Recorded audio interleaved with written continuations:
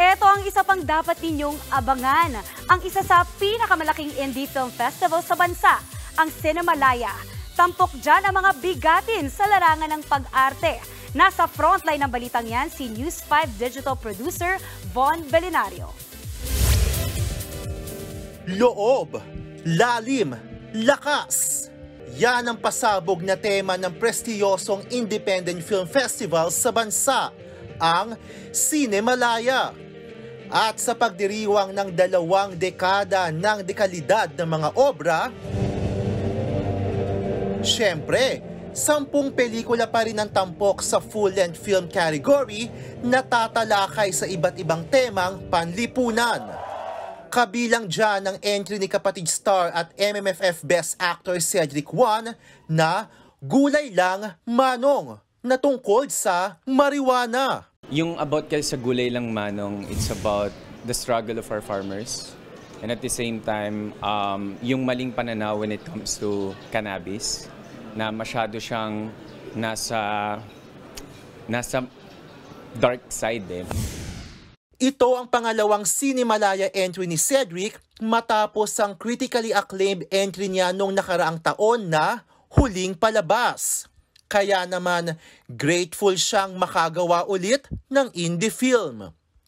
And speaking of being grateful, labis ang pasasalamat ni Cedric sa pagiging Grand Slam Best Actor nominee. Nominado kasi si Cedric sa lahat ng mga bigating award-giving body sa bansa para sa kanyang role sa M-Quest at Jescom film na Gumburza. Siguro ganun talaga. Pag meron kang ginagawa na something na not just for yourself, na ginagawa mo siya more than yourself. Lalo na kung para sa bayan mo pa, para sa, sa justisya.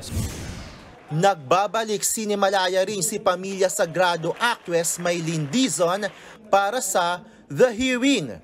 Sa direksyon ni Lau Fajardo na siya ring direktor ng Hit Kapatid teleserye.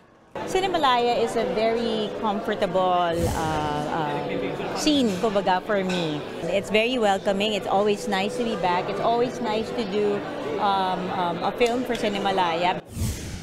Kasama rin sa full length ang Balota, ang documentary na Alipato at Muog, ang pelikulang Love Child, gayon din ang An Errand, Kantil, Kono Basyo, The Wedding Dance at Tumandok.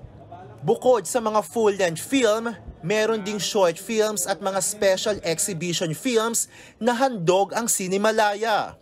Mapapanood na yan sa mga Ayala Mall Cinema sa susunod na buwan. Nagbabalita mula sa Frontline, Von Belinario, News 5. Mga kapatid, ito po ang inyong K-Alaman Queen, Kalad Karen. Always remember na ang K-Alaman ay K-Yamanan.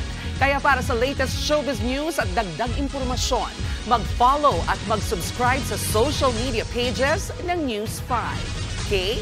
Okay.